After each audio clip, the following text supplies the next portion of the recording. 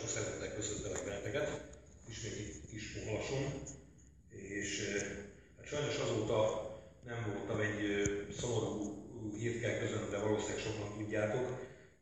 Egy barátunk, társunk, lehet úgy mondani, hogy szimpatizánsunk, nekem még támogató, meg segítő is volt, meg a Turok Lacinak, vagy Jerner Lacinak, így ismeritek, egy nagyon jó barátja. A Fokim is sajnos már nincs köztünk, és ennek kapcsán jutott eszembe, hogy annyit beszélünk, és még az hozzátartozik, azt el kell mondani, hogy a Misinek a, azt hiszem nővére volt, aki szintén nagy érdeklődéssel figyelte az én tevékenységemet, vagy a mi kis tevékenységünket, és ő egy ilyen szakrális ember volt, ugyanis is egy, valamilyen szinten az volt, de a nővére az komolyabban foglalkozott így a égiekkel, meg az égiek földiek kapcsolatával, és sajnos veszem tavaly ősszel, ezt Misitől tudom, aztán nem régen egyszer kaptam a toloktól a hírt, hogy a Misi sincs már köztünk, és ennek kapcsán jutott eszembe, hogy meg kell emlékeznünk arról a 130 ezer emberről, akik legutóbb az elmúlt 5 évben, de ugye egy éve már nem igazán mennek, hál' Istennek ezek a kilakoltatások, de a 130 ezer emberből nagyon sokan nem élnek Fidesz kormány kilakoltatott, és én úgy gondolom, hogy ennek apropóján a Misiről, a testvéréről, meg arról sok-sok emberről, aki, akiket elvesztett a családjuk ez a lehetetlen adósság csapda miatt, hogy a fórumunkat kezdjük egy egyperces néma felállással tiszteletben.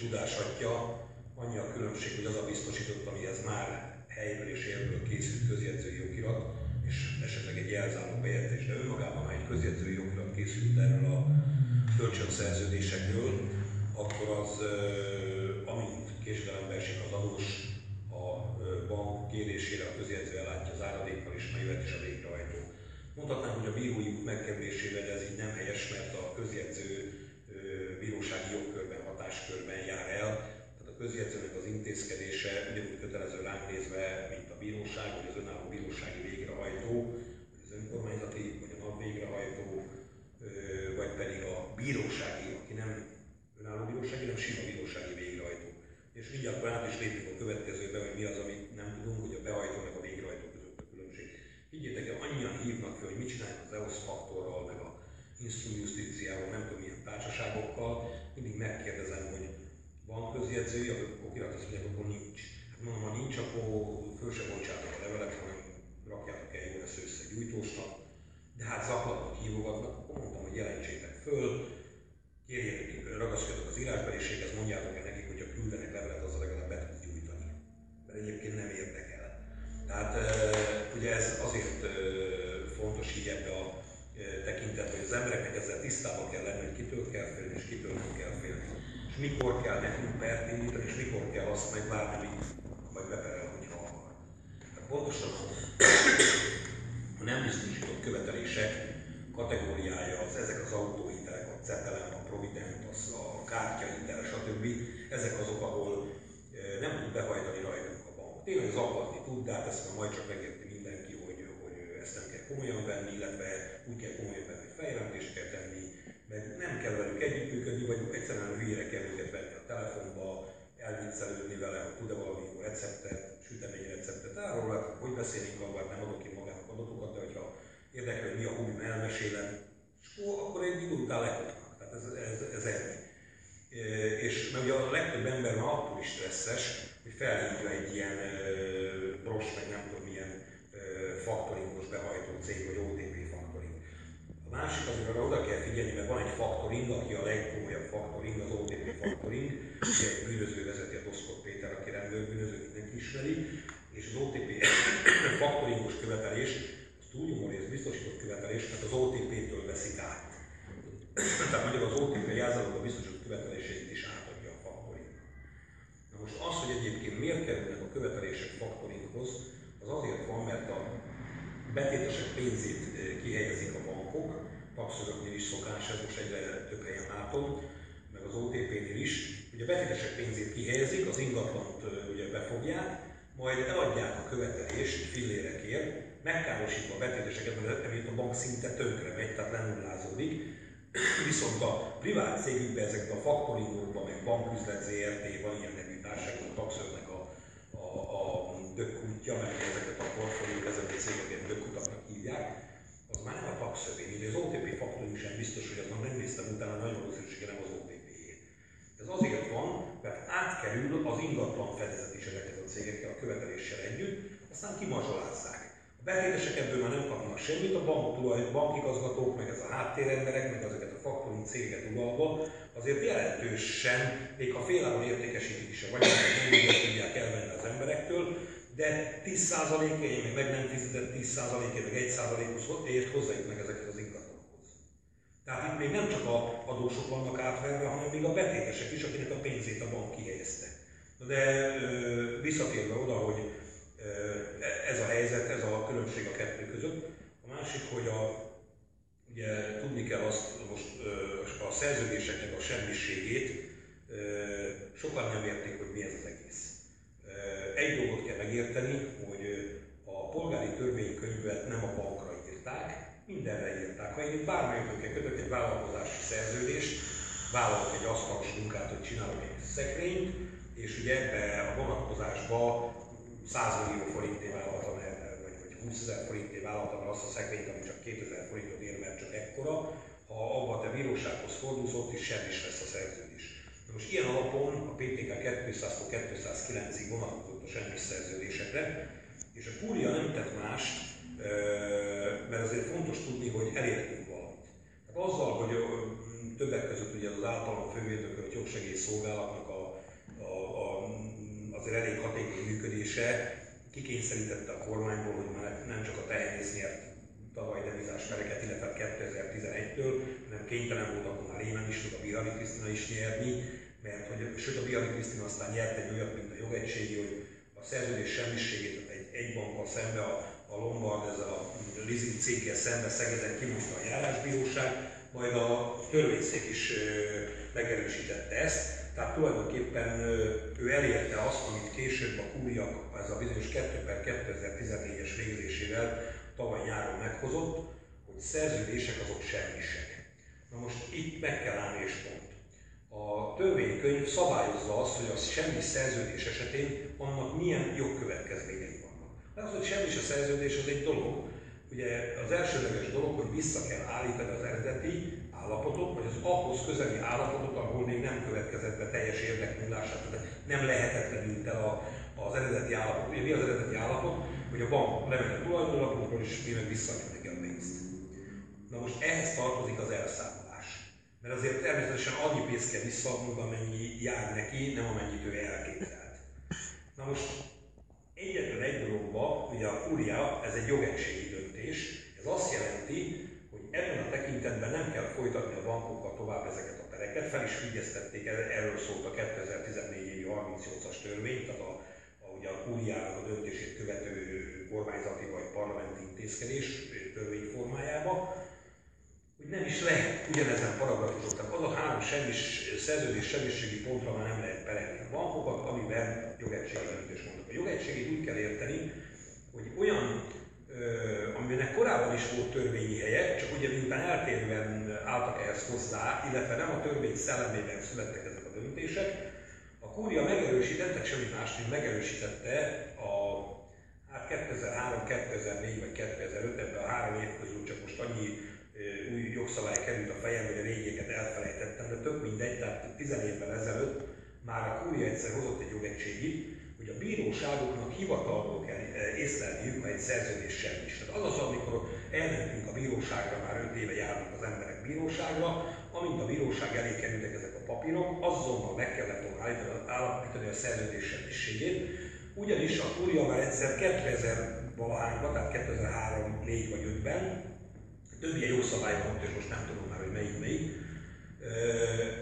Lényeg az, hogy kimondta a jogegységébe, hogy az a helyes bírói gyakorlat, ha a törvény szellemében hivatalból észleli a szerződés semmiségét. Ezt kellett volna tenni a közjegyzőnek is, aki bírósági hatáskörbe hitelesítette ezeket a nem hiteles, utóbb kimondott, hogy nem hiteles szerződéseket. Az egy dolog, hogy a kúria utóbb mondta ki, mert azt tudnotok kell, hogy közjegyzőkkel szemben indított perekben most azzal védekezik a közjegyző, hogy ő nem 2014.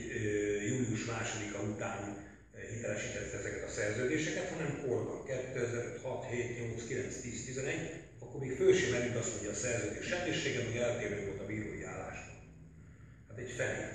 Ő neki ugyanaz vonatkozott rá, ami a, benne van a törvényben, nem tudom, többször módosított PTK-ba, éppen akkor hatályos törvény szerint kellett volna eljárnia, amit a kúria ebben a 2000-es évek elején ki is mondott. Na most ugye egész addig, hogy akár akik most itt ültök, vagy akik majd tájékoztattok más embereket, nem fogjátok tudni elmagyarázni nekik, hogy miért kell csinálni ezt, vagy azt, vagy azt, ha ti magatok sem értitek ennek a lényegét. Ha csak nem ugye van bizalmi alap, van nekem is olyan barátom, aki azt mondja, persze, hát te értesz hozzá, azt csináljuk, amit mondasz. És nektek is van olyan ismerősök, akinek szóltak, és tudják, hogy, hogy korábban is, amit mondatok, az jó volt, frankó volt, de ez azért egy kicsit többet A, az a feladatunk, amit elmulasztottak az elmúlt ezer évben, hogy nem középiskolás fokon kell tanítani az embereket, ugye mondta ezt valaki előttünk, hogy ő majd nem középiskolás fokon fogja tanítani az embereket, ugyanis tanulnunk kell, mert ha, ha nem véletlenül, ugye elmondtam már sokszor, hogy ezt a jogot nem véletlenül nem tanítják. Annyi maraságot tanítanak még olyan nehéz tantárgyak, amit soha életünkben nem használunk, legalábbis addig a mélységig, hogy tényleg egy embernek egy hol fogsz használni egy két ismeretlenes egyenletnek a megoldási képletét. Hát egészen biztos, hogy ha, ha ö, nem matematikusnak, vagy fizikusnak, vagy kémikusnak mész el, akkor, vagy, vagy valami hasonló területre, egész biztos, hogy életedben sem fogod használni. És van egy tárgyajog, ami az egész életünket leszabályozza, és tulajdonképpen az életünket megkeseríti, mert nem tanítják meg velünk, ezért aztán nem tudjuk, hogy mi a jogunk, és azt sem tudjuk, hogy mi a kötelességünk. Ezért aztán rendre megsértjük a törvényt.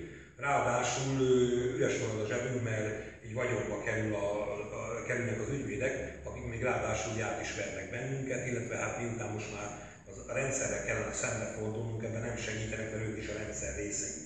Tehát ezért kell ezt a dolgot megtanulni, és ami most, most nem véletlenül nem a családjogi törvényről, vagy a felszámolási csődtörvényről beszélek nektek, mert ez most bennünket, az átlagpolgárt nem érinti bennünket. Érint, mert amit miatt szűnünk a munkáink, az, az az én dolgom, meg mások dolga.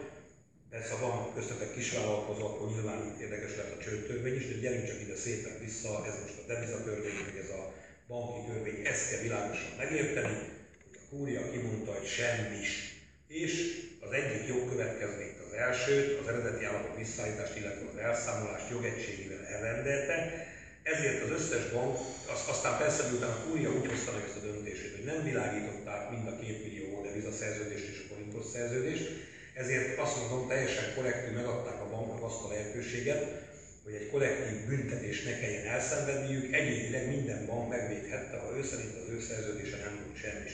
Na most ezt a jogorvoslati pereket nem az összes bank, itt a 40-50 bank nyújtotta be, szinte kivétel nélkül elveszítették, tehát a, alig egy százaléka, vagy talán azt sem éri el, aki megnyerte, hogy, de az is csak ilyet, hogy a tavalyi vagy a tavaly előtti évben június 3 augusztus 20-ig kötött 6 darab szerződés, az, az nem volt semmi, és az összes többi az igen. Tehát magyarul beállt a törvényi világos szerződés semmiségére, és egyetlen pontban jogegységét is hoztak.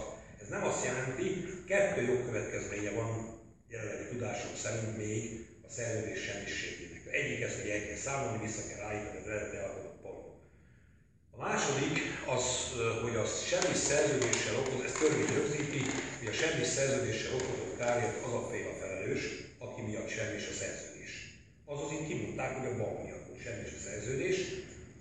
Erre viszont nem hoztak jogegységét, hogy meghatározták volna a jogalapot legalább, hogy akkor igenis nem kell külön egyénileg mindenkinek, igenis minden bank kárt okozott, minden bankkal szemben megvan a jogalapja a kártérítése az embereknek, és akkor csak a mértékét, meg a kifizetés módját kellett volna maximum nyitva hagyni, de azt is meghatározhatta volna egyébként a kúria. Lehet, hogy az megint egy ilyen, nem mindenki félt volna bele, de még mindig jobb lett volna, mint ahogy most, ezt nem határozta meg. Innentől kezdve nem beszélnek róla, innentől kezdve nem, hát néha beszélnek róla, mert vannak ilyen megmondó szervezetek, akiket azért lehet hallani a tévében, ez a civil, nem jut eszembe, de a Lomnici nevével fényjelzett valami, nagyon-nagyon civil.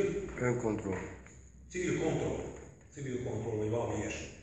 De ugye miután a békemenettel azonos társaság büdös gazemberekből áll, Fritz Tamás, meg politológus, meg nem tudom kicsodából, tehát egy rendkívül szélhámos társaság, a szakszervezeteket szokták utcára szólítani, meg eljöttek egyébként a mi megjelenésünk előtt Tapolcán, tartottak valami demonstrációt vagy felvonulást, Royce Royce-okkal voltak fel, Sinegön ki is ügyvitték őket. Na mindegy, visszatérve oda, hogy a, a semmi szerződésnek ezt a második dolgát már nem rendezték. Ez viszont nem azt jelenti, hogy nem áll nyitva minden magyar állampolgár, vagy devizakárosult, vagy forinthiteles becsapott embernek a lehetősége, hogy törvény előtt ezt érvényesítse. Az ő jogát. És ettől pillanatilag még fontosabb a harmadik dolog, hogy a semmi szerződés az semmiféle további, illetve a semmi szerződésre minden továbbiakban alapított jog az semmi. Tehát innentől kezdve, ami legjobban fáj nekünk, az a közjegyzői jogirat. Mert ugye ebben kezdtem a, a, az előadásomat, hogy a, e, a biztosított meg a nem biztosított követelés. Ezek biztosított követelések jelzáló hitelek voltak, és semmi szerződésen alapulnak a közjegyzői jogiratok. Na most ez sem tiltotta meg a törvény, nem is tudták volna meg a kúria végzése, meg a 38-as törvény, hogy nem indíthatunk pereket a közjegyzőkkel szemben, de nem. Az más kérdés, hogy most próbálnak védekezni és mosakodni, hogy ők akkor még nem tudták, aztán, hogy a közjegyző közhatalmi tevékenységet lát el, tehát nem szerződő felül nem tudjuk beperelni, mert ugye velünk nem szerződött, az, hogy megbíztuk ennek az elkészítésére, olyan, mint hogy a, bemegy az ember a házasság az önkormányzatot és a, a, a minden eszembe jut még a házasság színelő, és hogy hívják a, aki összead bennünket? Nem jut eszembe a, anyakönyvvezető, na, tehát bocsánat, tehát a, a, a közhatalmi tevékenységet lát el. Az anyakönyvvezetőt se perelhetjük be, hogyha az asszonya összevesztünk. Gondolom erre gondoltak, csak itt másul szó, hogy a közjegyző valóban a közhatalmi tevékenysége során azért egy dologért felel, ha kárt okozott, van is olyan keresetlevele, minden a károkozást a jelenlegi keresetlevélben nem, tehát nem támasztottunk kártérítési keresetet a közjegyzővel szemben, tehát kárigényen még nem léptünk föl. Lesz olyan, hogy föl kell lépnünk, mert elutasítottak egy vagy két olyan keresetlevelet a százból, hogy csak kár felelősség esetén lehet perelni a közjegyzőt. Semmi gond, majd benyomjuk az összeget, amit csinált a közjegyzői jognyagot, meg egy 500 ezer forint nem vagyonikát, ezt mindjárt megkapják, amit kértek, és akkor már nem is fogja tudni a bíró elutasítani, hogy a kötve van a végzéséhez, ha így adjuk, nem tudja elutasítani.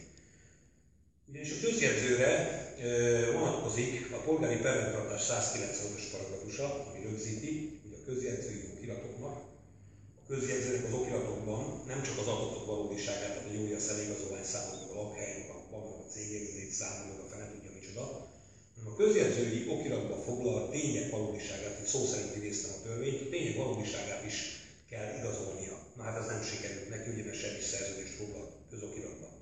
És akkor el is érkeztünk oda, ami a legfontosabb, ugyanis tudni kell, hogy mi az eljárás. Ugye most sok ember úgy érint a közjegyzői okirat, hogy nem meri abba hagyni a fizetést, mert be tudják De legtöbb embert úgy érinti, vagy legalábbis a, a egyre több ember, de most is már százezreket, százezreket, hanem millió fölött érint, aki már nem tudja fizetni a hitelét, aki már abba hagyta a fizetést. Na, mi történik, most elszámol vele a bank. Tisztességtelenül felszámított összeget, az szépen levonja, és azt mondja, hogy most már csak 6 millió 725 ezer forintot tartozó. Elszámoló levelet nem fogadod el, hogy panaszol, azt elutasítják, utána esetleg elmész a végkérdező testőt, azt is elutasítják. Ez is jó, ezt is csinálni kell, mert a végrehajtás nem indulhat el addig, amíg az elszámolás nem fejeződik, addig fel van. De amint ez banknál befejeződik, és mondok egy példát, ha valamelyőtök nem panaszolta meg, és elfogadta a bank elszámoló levelét, eltelt a 30 nap, 31. naptól jöhet a végrehajtó, ugyanis akkor ő miután nem fizetsz, megcsináltatja az áradékot és jön a végrehajtó. Viszont ha a közjegyzői okiratot, okirat miatt megpereljük a végrehajtó, na, a közjegyzőt, akkor annak a pernek a megindulását követően egyrészt perfeljegyzést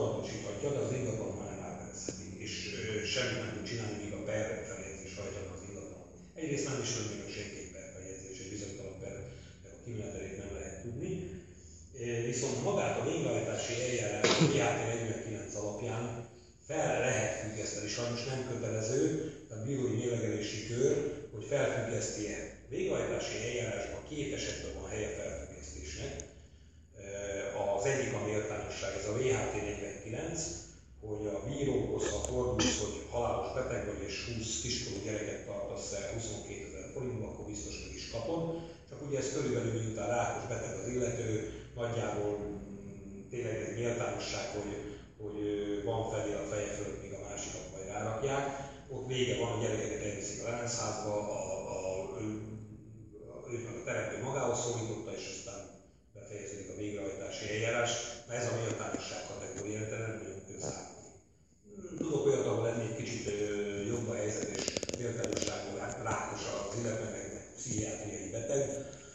Többek közül közületek ismerik is a kilőszóval, nyilván a nem mondhatom, és ott azért pont a Kecskeméti Bíróság méltányosságból felfüggesztette ezt a végrehajtási eljárást. És viszont van még egy, azt mondja a törvény, hogy a PP, vagy a szabályai, tehát polgári merentasztás szabályai, vagy más törvény azt lehetővé teszi. Most a PP 152 paragrafusa mondja ki azt,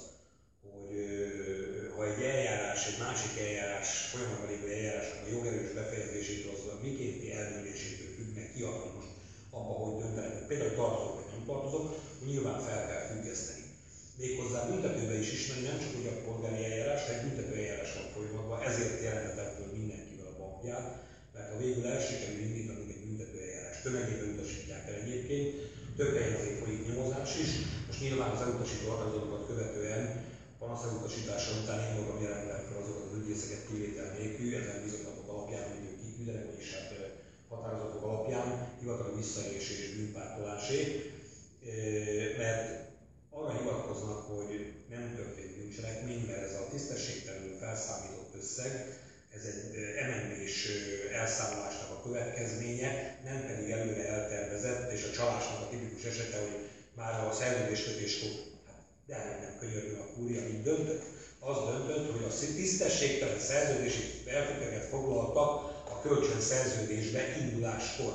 Hát egyébként nem is lenne, e, e, akkor a kúria nem mondta volna ki a szerződés semmiségét, hát ettől sem is a szerződés, és erre mondtam azt, hogy ha most itt azt mondjuk, hogy ha e, a cigány vagy a magyar, mert nem csak a cigányok csirkét, eldob minden héten tőlem 10 héten keresztül egy csirkét, aztán lemúgyik, de miután a őségben én sem emlékszem, hogy hány csirke volt, ezért egy elszámolást kell végezni, és kiderül, hogy csak 9, akkor csak polgárjogilag kell neki e, jó távja, azaz kifizetni a 9 csirke árát, és egyébként nem lesz büntetőjogi konzekvenciája, hát egy fenét.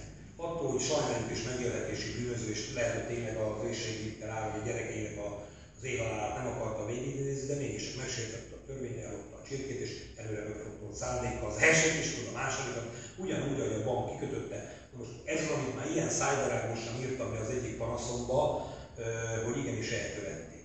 Én föl is jelentettem, illetve nem biztos, hogy följelentettem, mert közben egy befejezetlen följelentést találtam az oldalon, úgyhogy lehet, hogy mégsem jelentettem hogy tavaly július másodikán csak terveztem, abban a pillanatban, hogy kijött a kúriás rendeletem, ugyanis a, a mi államunkban, kormányunkban lévő apostoli Magyar Királyság főügyésze Lippai doktor mondta, hogy oké, okay, vajon mikor fog itt fölmerülni a büntetőjogi konzekvencia. Oké, okay, polgári bíróság kimondta, hogy tisztességtelen volt. Nem is hivatott a kúriának, a polgári, de kúria BKPI-et is hozhatott volna. BKPI-e, tehát nem csak büntető és polgári jogegységét. És a büntető részt is oda rakhatta, és oda is kellett volna. Tehát már akkor hivatali visszaélés bűnpártolást követett el a kúria a 2 per 2000, de fel is jelentem, de jó, ez most eszembe jutott. Egyszerűen volt eszembe, csak így nem fogalmazódott meg amikor ők a BIE-t meghozták, és kimondták, hogy tisztességtelenül volt. Hát ha én asztalosként tudom azt, hogy az a BTK 318-at kimeríti, akkor az a sok ö, nagyfejű főbíró, aki hozta ezt a döntést, hogy a francban nem tudta, hogy akkor ez büntetőjogi konzekvenciá is van, ugyebár. Csak elfogadtam azt, hogy miután általánosságban mondták a szerződési tisztesség, és általában tudjuk, hogy mit és mit nem lehet csinálni, biztos tudjátok, hogy általában mit nem lehet csinálni, nem akarok rá most kitérni, Eh, ezért konkrétan kell, viszont mióta megvan az elszámolás, illetve folyamatosan jönnek ki a levelek, egyedülben a tiédbe, az enyémbe, a másikba, beismerés van. Mert leírja, hogy mennyit számítok tisztességtelen. És ezért mondtam, hogy el kell indítani, mert a PP 152 paragrafusnak az egybekezdése azt mondja, hogy a büntetőeljárás tényére is fel lehet függeszteni. Ugye a kiderül a büntetőeljárásnak, hogy csaltak, akkor nyilván én nem tartozom, vagy nem annyi van, és azért most nem vehetik el a házamat, tehát a VHT 49 alapján a PP 152.1-re hivatkozással felfüggesztheti a bíró hozzáteszem, felfüggesztheti, de azt fogadjátok el, a jól érvelünk, éppen egy szintén közös ismerősünkben hatalmazok hogy név szerint elmondjam, de egy közelben lévő nagyértékű ingatlanját már elálverezték, egyik részéről kiköltözött, a másikat kiürítése lett volna most tizedikén, és beadtunk kellő mennyiségű iratot, három közjegyző okiratpert, kettő tulajdonjogi igénypert, és vagy öt hét beadvány, pontosan nem tudom, hogy nagyjából este 5, 7 órától együtt írtuk éjfélig, mire végeztünk, és a rákövetkező szerdára kitűzött lakáskivítésre nem kellett kijönnöm, mert még bepróbálkoztam volna a rendőrség kizárásával, és akkor végrehajtom ugye egyedül nem elég erős a lakatossal, de szerencsére hívott a barátunk, hogy nem menjek, mert két végzést is kapott a postáról, az egyiket a közé, végrehajtó küldte a becsernyés klinika, ezt így biztos mindenki ismeri náluk a körbe, másikat pedig a végrehajtási bírót felfüggesztette az eljárás mérlegelési. Tehát azért ez, ha kellő, pedig hozzáteszem, hogy szűkenre meg volt nekik az eljárási lehetőségük, hogy befejezzék ezt a mutatványt, de elértük a kritikus tömeget a, beadványokkal, pedig még egy jegyző felé birtok védelmi eljárást még nem indítottunk meg, tehát még mindig van azért, amit tenni kell ebbe a dologba. De csak ezt azért mondtam és ugye egyszerűen nem lehet végigmondani, mert mindennek vannak oldalági vonatkozásai is, de azért most visszatérek oda, hogy nem maradt más lehetőségünk, hogy addig, amíg kellő számban meg nem indítjuk a közjegyzőkkel, és az a fontosabb, Higgyétek el, hogy a kártérítési kereset az ráír, mondhatnám úgy is, hogy örökre ráír, mert mindjárt mondom, hogy miért. A PPK 312 szerinti ellehetetlenésű felint az nem annyira ér rá, de mégis a legfontosabb a közjelző, mert mi csak akkor vagyunk nyugodtak és szabadok, ha a biztosítékot elveszünk. Ugyanis a közjegyzők nélkül a közjegyzői okirat érvényessége hiányába csak fogadalom osztán a bank. Mert onnantól kezdve ugyanazt tudja vele csinálni a bank, amit most a Provident, meg a többi, hogy fenyeget, meg rázza az öblét, de azon kívül meg ijeszget a, a, az ügyvédjével, meg hívogatnak a munkahelyén, csak nem tud folyamodni az önálló bírósági végrehajtóhoz, mert nem lesz neki jogereje, amiről a végrehajtót be tudja indítani, akinek sajnos az intézkedése számunkra kötelező. Értitek ezt a lényeget? Ez a, ez a dolognak a lényege. Ezért kell először a közjegyzővel szemben megindítani a pert. Minél hamarabb, mert igazából a, a keresetindítás hatája nem akkor áll be, amikor benyújtod a keresetlevelet, hanem amikor a bíró kitűzi a tárgyalást. És így idézi az alperest, mert ha engem idézöttök az alperest is. Onnantól per a per, onnantól kezdve lehet érdemel hivatkozni. Rá hivatkozni, próbálkozni lehet. Ezért kell minél gyorsabban ezeket a keresetleveleket benyújtani. Aztán a következő, voltak ezek az elszámolási díjak, és ugye én nem tudtam időben megírni a mi forma levelünket, sokaknak időben volt, volt, akinek már nem, és akkor beadtak ilyen Lehman, meg Damondre, meg ilyen szélállamosok által készített mindenféle, hogy elszámolunk a bankkal. Mi nem akarunk elszámolni, még leszámolni is mindenféle értik, amellett, hogy majd el fogunk számolni arra is kitérek, mert rájöttem valamire, hogy hát az régi csak elszámolunk, de most még nem tartunk Pillanatnyilag ugye az a lényeg, hogy a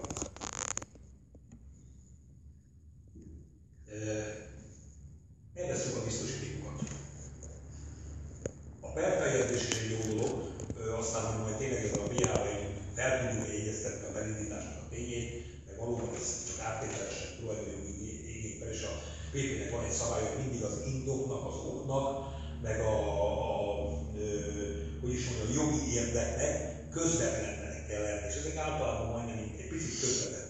Tehát nem a közjegyző veszi el a házamot, hanem a bank.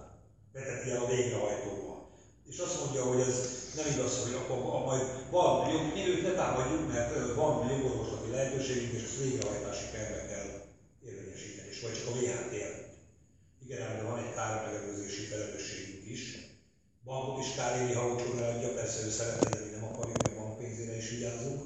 A másik, hogy ismerjétek azt, hogyha biztos aludtok már olyan, hogy valakinek leégett a háza, és nem fizetett a biztosító, mert ugye biztosít és a tűzoltók kiállították a jegyzőkönyvben, egyetlen egy tűzoltó készülésen volt a házban, ráadásul olyan sok fát tároltunk az udvaron, a sétkelti csapott sét két méteres slagot nem raknak oda, hogy és nem tudjuk kezdeni az oltást, mert a tűzoltók kiérkezik. Ugye?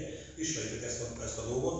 Na most a kármegelőzés egy ilyen elvárható gondosság, az mindenkitől elvárható, minden szakmában, otthoni dologban, az, ami elvárható gondosságunk, hogy tudjuk, miután nem tudjuk fizetni a hitelt, hogy igenis kár fog érni bennünket, és kármegeződés céljából már most feleljük a közjegyzőt, nem várjuk meg, amíg a végrehajtó megjelenik nálunk, mert akkor már kevés az idő. Tehát, és ezt nem is tudtuk védeni, mert ugye rengeteg oldalról támadják ezeket a közjegyző iránti kereseteket, egyébként az enyémet is minden utasítanák, mint ugye Kozma Józsét azért kellett beszámolni, mert az övék minden utasították, ugyanazzal a keresettel dolgozunk, közel ugyanazzal. Csak neki nincs olyan lehetősége, neki nem alperese a teljes közigazgatás, a Józsi nem ezen az oldalt, azt sem mondom, hogy a másik oldalhoz tartozik, de alapvetően nem vállalja föl, tehát az apostoli magyar királyság irányába ő nem tett lépéseket, illetve a tempópártnak se tagja, és a Józsinak nem alperese a teljes vagy a közigazgatásnak a bíróság. Nyilván neki nem is volt okra ezeket beperelni. Erre mondtuk azt, azért hirdetjük most a Facebookon, hogy egy speciális olyan eszköz van a kezünkben, amivel csak mi rendelkezünk. Ez az eszköz, sokan beszéltem már róla, az eszköz, hogy nekem sikerült magamat a törvényen felülre emelni, amit persze nem mindig tudok érvényesíteni, hogy csavaroltak engem is, de csak ki kell, hogy engedjenek. Ez a törvényen felüliség azt jelenti, hogy a köztársaság karmaiból szabadultam én ki, és ezt tudom nektek nyújtani, hogy akinek beavatkozom a perébe, őt is ki tudom emelni, mert ki tudom zárni a bíróságot. Ugyanis most az nagyon fontos, hogy meginduljon a per, ennek a perfüggőség miatt vannak ezek a felfüggesztési lehetőségek, viszont nem engedjük addig a bíróságon dönteni, ami nincs meg a politikai akarat, azon nem kapják meg az ukászok, már eljárnak a törvény szerint. Nekünk nem könnyű arról döntsenek, nektek sem. Mert mi nem követünk ezt semmit, nekünk elég, ha a bíró a törvénykönyv betűje szerint akkor már jobbikra fog dönteni. Ezért nem mondom azt, hogy jobbikra döntsön, járjon el a törvény szerint.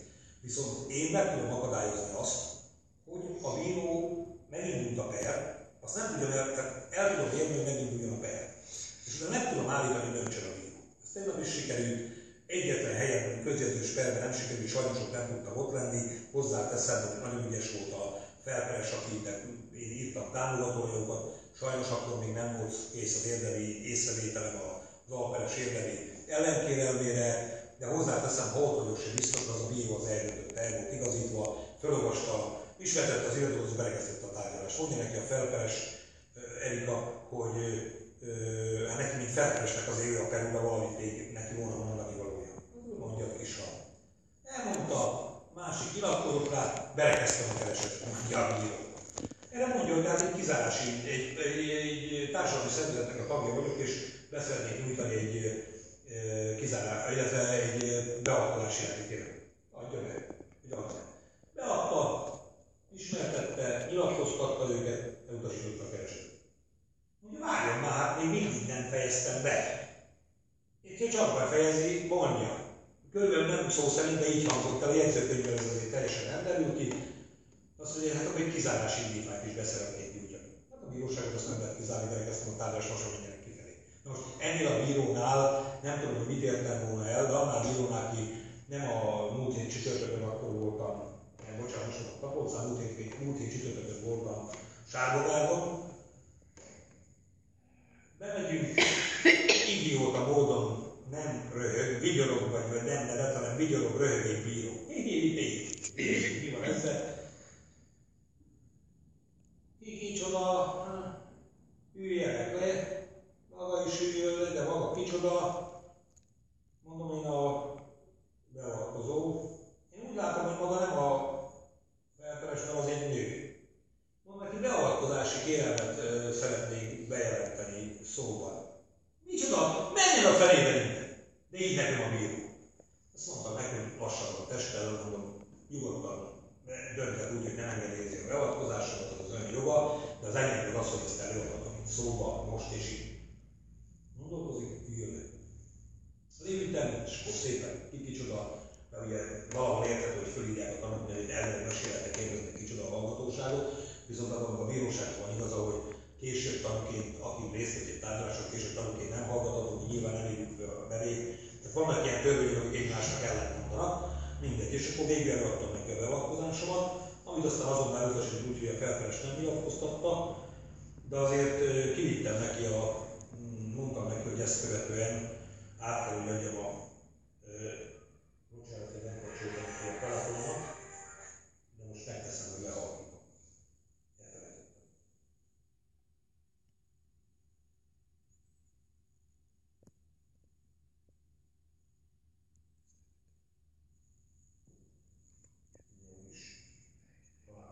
Elfelejtettem.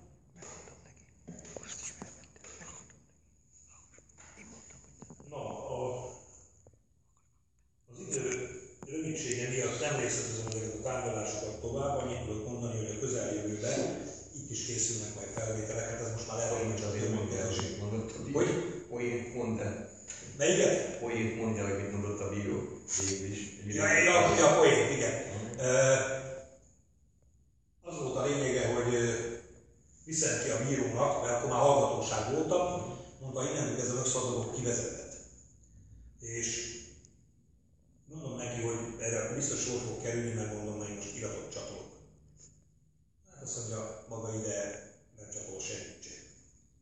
Nem mondom én igen. Kimentem az iratom az asztalra. Vigye innen. Mondom, ez ott van. És akkor jöttem vissza, és akkor már hívta az őrt. És akkor kivezettek volna, ha nem mentem volna magamtól. Aztán az őr, ez arra volt jó, hogy mert az őrre után elbeszélgettünk, és sokkal értelmesebb volt a bíró. Oda a Sárbogádi járásbíróságra bement a ö, királyság szelleme, azt onnan többet nem lehet kiverni. Célt elértem, nem lehet berekezteni a tárgyalást, és még az a jó, hogy ö, közben mégsem jegyzőkönyvezte, az a kizárási indítványokon nem döntött, az a következő, ha ő is hallgatja a videót, akkor most kapargatja majd a fejét.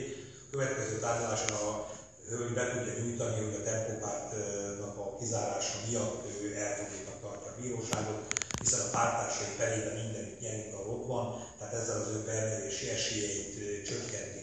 És érdekes módon egyébként ezt fogta meg a Szepesházi bírót, aki ö, tudod, hogy ö, miért döntött úgy, pedig akkor még nem tudtam olyan szépen megfogalmazni. Egyrészt megfogalmazom nekik a jogi a tempópártnak a tagja, ez egy anyagi jogi érdek, és tagdíjat fizet, az, hogy elkaszálják, akkor nem tud tagdíjat fizetni, és ezzel a párt működése kerül veszélybe. Ezt senki nem viszi komolyan, de ez viszont egy jogilag elfogadható érde. Most akár még lehet, hogy gusztustalan is, hogy a párt ilyen halácsoló, hogy ebből a tagdíjakból él, tudjuk, hogy senki nem bírja fizetni, nem is várjuk el senkit, és a pártnak költséges nincsen, mert költségmentesen éppen most újabb 100 millió kersikasztásával fognak rövid időn belül meggyanúsítani, most már értesültem úgy, hogy most tudjátok, hogy mi finanszírozva a pártot, nem ezzel a 3000 forintokkal, persze sajnos hogy akkor kicsit nagyobb pártszékházunk lenne, vagyis lenne egy de most az sincs.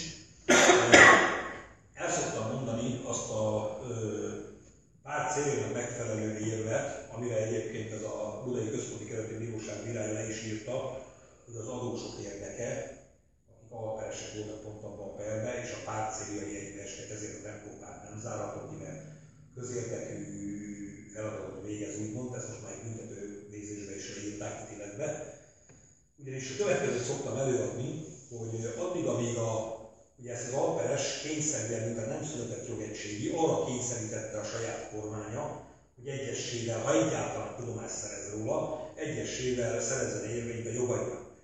Most a sokotokkal voltam már tárgyaláson, hát nem csak a jelenlévőknek mondom most egy kicsit, hanem akik a szimpatizás vagy baráti ismeretségi körbe tartoznak, 99%-otok megszólalni a tárgyaláson. Én sem tudtam, tehát ez a kezdő bizonyos a gőzküldőbe. Ezt annak idején a Lippai doktor mondta, hogy most már legyen még többet az ítélőt, a reagálnak többet, van, mert én nem tudok az ügyeim ilyen mértékben fölkészíteni, hogy jégszok, mint a. Ma már büszke rám az ügyvédem, mert szoktam PPP oktatni a bírókat, hogy kicsit idegesítenek. Persze csak nem az egész polgári perrendtartásból. Ezt azért mondom, mert Dunajvárosi járásbíró nem volt jelen a felperes éppen külföldön tartózkodott, és beléptünk, és bíró foglaljanak helyet, ki kicsoda, Borvé József. Nem kell elmondani tovább, hogy ki vagyok, arra mondjuk magára nem készültem, bocsánatot kérek, és kiment a tárgyalóteremben, mondom, úristen rosszul a paliga ülött vele, képzeljük, jött vissza egy ekkora PP kommentárra. Hát azt mondja, hogy egyenrangú félvegyön velem, hogy, hogy mert én fejből tudom, hogy neki lapozgatni kell. És ezt nem úgy csinálta, olyan hírem volt, hogy már megelőzte ezt egy fiatal, talán már nem volt 40 éves, és író azt mondja a felperesi képviselőnek, hogy képviselő úr, maga tisztában van Borbé úrnak a tevékenységével?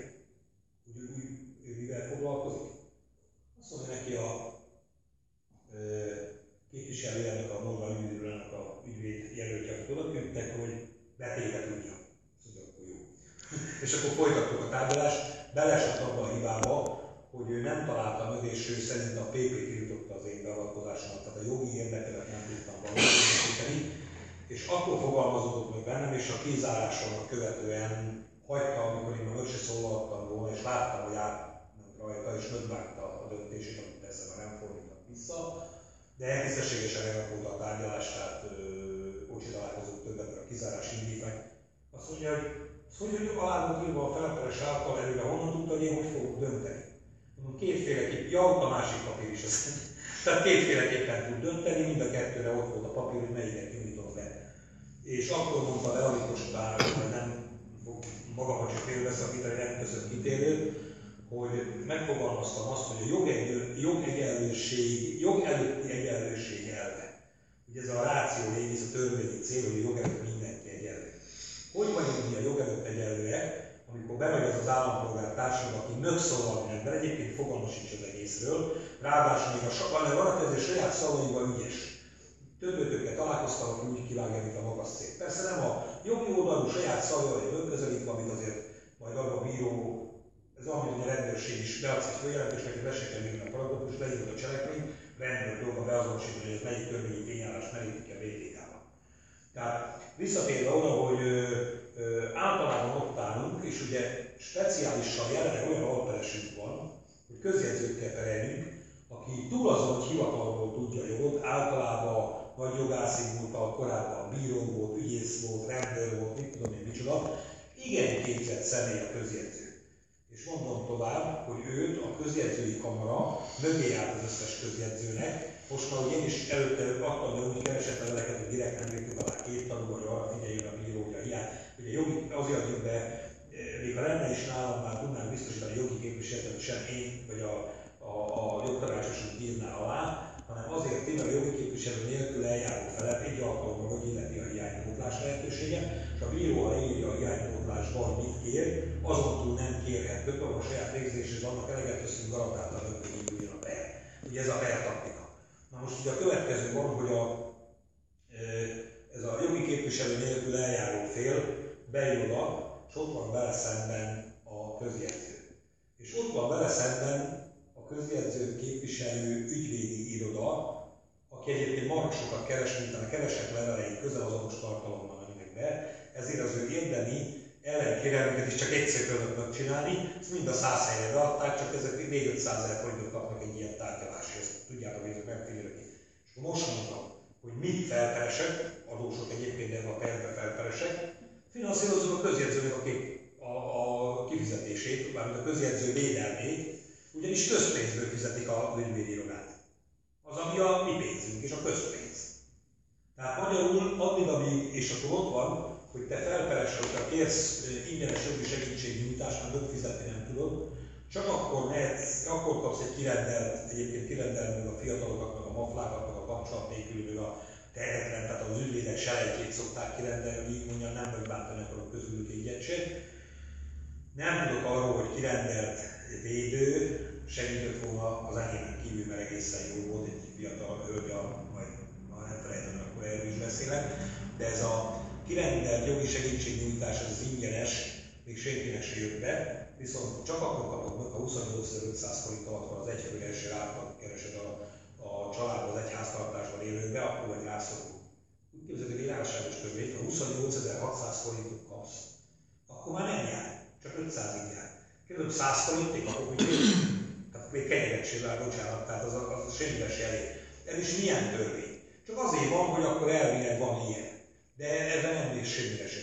Na ezért kell a nagy tapasztalattal, nagy jogérvényesítési tapasztalattal, nagy ügyvédi háttérrel működő, egyébként mikropárt, tempópártnak a, perei, a, a beavatkozásának ezért van helye, a jog előtti egyenlőség biztosítására pont. Na és ezt amikor elmagyaráztam ennek a Dunói bírónak, és ugye a, a kommentárjában is benne van, meg a nagy fejébe is, amivel tanult, láttam rajta, hogy megbánta egyszerűen tudta, hogy igazam van, és ő, ő azt mondta, hogy még, még egész életében úgy döntött, hogy ő mindig a lelkismerete szerint döntött, ők még soha nem befolyásolták. Hát most megbánta a döntését. Még egy dolog, a tegnapi tapolcai tárgyalás előtt ugye nem tudott a Ildikó eljönni, mert egyrészt mondtam neki, hogy maradjon otthon, mert most nem kell, hogy ott legyen, mert ha a Moldován ügyvédi irodának nem kapta volna meg előre az érdemi ellenkérelmét, akkor nyugodtan beülhetett volna, és akkor mondtam volna, hogy igen, köszönöm szépen, nem kaptam még meg, de most megkaptam, viszont kérek időt a tanulmányozásra. Jó, képviselő nélkül eljárás félként, mert csak beavatkozunk, az nem számít.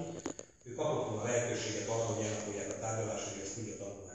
De miután megkapta előre, ezért azt mondtam neki, hogy maradjon otthon, jelentse hogy kéri a tárgyalás távolétében történő megtartását ebbe az írásba, sőt, trükkösen benyomtunk nekik egy egyességi ajánlatot is. Ez egy meghallgatásra jutott eszembe, de van olyan bíró, aki nem tűzik ki a tárgyalást, még nem is dönt a hiánypótlásról se, hanem végül beírja a feleket személyes meghallgatásra, és én azt hittem, hogy ez a békítő, tanulok mindig, elmagyarázta egy kecskeméti bírónő egy tárgyaláson, nem, ez a PP 113 szerinti információgyűjtés a bíró részéről, mert nincs elegendő információ, nem értette meg a per.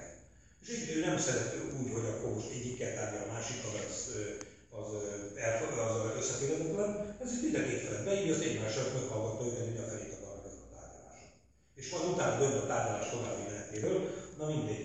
Lényeg az, hogy ö, ö, egy ilyen kis cserpes hölgy jelentott meg a alperesi képviselőt, a Moldován ügyvédi irodának a meghatalmazottjaként, vagy a megbízottjaként, és ott szóba egyezett velünk, még nem kezdődött a tárgyalás, kérdezte, hogy ki kicsoda, mi vagyunk a fel, hogy a hölgy a felfeleségnek a beavatkozó, ismer, és mondja, hogy mondom meg, hogy nem fog megjelenni, mert egyébként a felkereső tényleg azt mondta, nem jön be tárgyalásra, nagyon rosszul, el ismert orvoshoz kapcsolódás direkciót, még igazolást is kérte, hogy ugye neki nem kell igazolni, hogy ő miért nem volt ott, nem kötelező a megjelenés. És azt mondja a, az alkalmas képviselő hölgy, hogy higgyük el, hogy nagyon megviselte a közvetők is, hogy beperelte Ildikó, hiszen olyan jó ismerik egymást, egylagosan.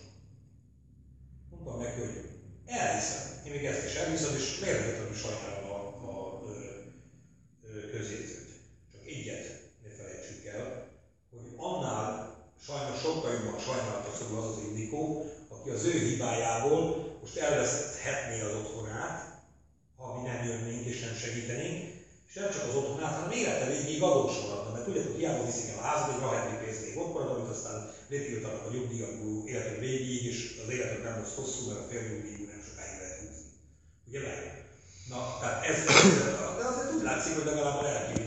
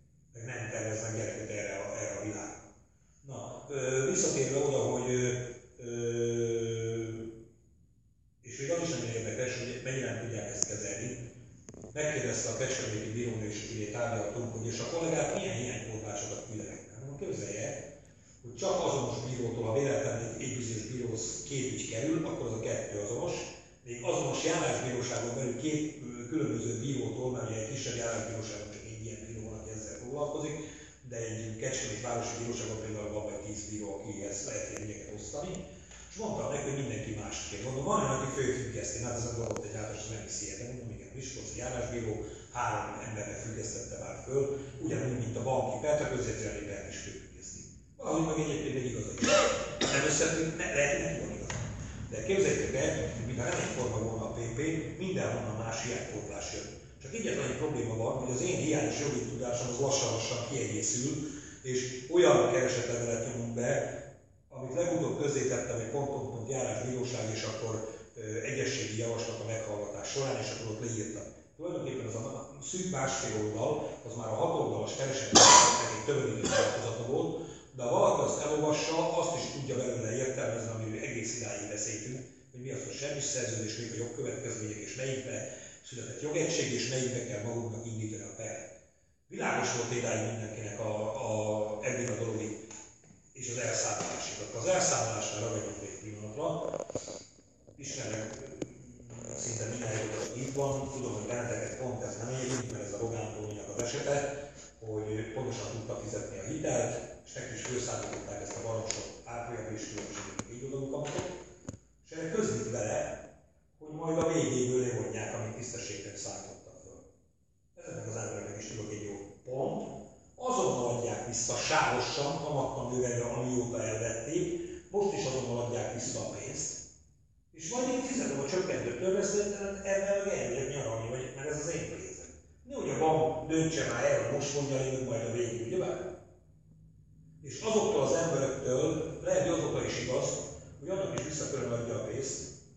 Sőt, most mondom, hogy akinek már most majdnem így mondtam, pedig már máskor elmondtam rendesen is, hogy ugyanúgy vissza kell annak is adni a pénzt, akitől, akitől már a házat is elvették. Mert aki most nem tud fizetni, és még nem vették el a házat. És mindenkivel vissza kellene kötni a szerződést, vagy újra kellene kötni a szerződést, ha az igényli, ugyanis a bank hibájából mondták fel a szerződést, ez ki van mondva, hogy tisztességtelen volt. Magyarul ő, amikor felemelte duplájára, vagy triplájára, vagy 50 a bankja válogatja, ezt a törlesztést akár az árfolyamra való hivatkozással, akkor elkövette velünk szemben azt, hogy fizetésképtelenített bennünket, és ő, ez a saját főgató magatartása, és erre mondja fel a szerződést, erre alapít jogot, amikor a PDK 4 szakasz 4 bekezdése tiltja a saját felgató magatartása történő jogalapítást. Mint hogy a Szent Korona is tiltja, ugye, hogy, hogy jogtalanság jogot nem alapít, vagy jogtalanság jogot alapítani nem lehet. Tehát azért az elszámolás nincs így rendben. Ezért is van az, hogy én a panaszlevelemben csak annyit írtam, hogy bank, tisztelt cím, ekkor kapok levelük, ekkor keltezésű, ekkor állnak levelükben, foglalatokat nem fogadom el, panasszal érek, én. Nem könyvvizsgálat fogadni arra, hogy előzze, hogy most akkor van, mikor, mennyit számolt fő. Nem fogadom el az elszámolást, indoklás. Amikor felszámította azt az által is elismert tisztességtelen részleteket, ellehetetlenített, ezért a PTK 312 akkor van hatályos, de most is van ilyen szakasz az új PTK-ban, csak más sok más a száma, ellehetetlenített, és ezért ez esetben a 3-as paragrafus szerint, vagy a 3-as pont szerint ebben a 312-es paragrafusban szabadul a kötelező. El sem hozta jogegységét, de törvény, tehát egyénileg tudjuk majd érvényesíteni. Mert a bank nem zárta ki a, illetve a, a, a kúria, meg a törvény csak abban a három pontban nem indíthatunk a bankkal szemben, amiben elrendelni még egy dolog, hogy az egész szerződés, ezt én korábban nem mondtam, vagy nem hangsúlyoztam ki, de elmondom azt is, hogy miért. Mert ugye a Újja Tibor, akinek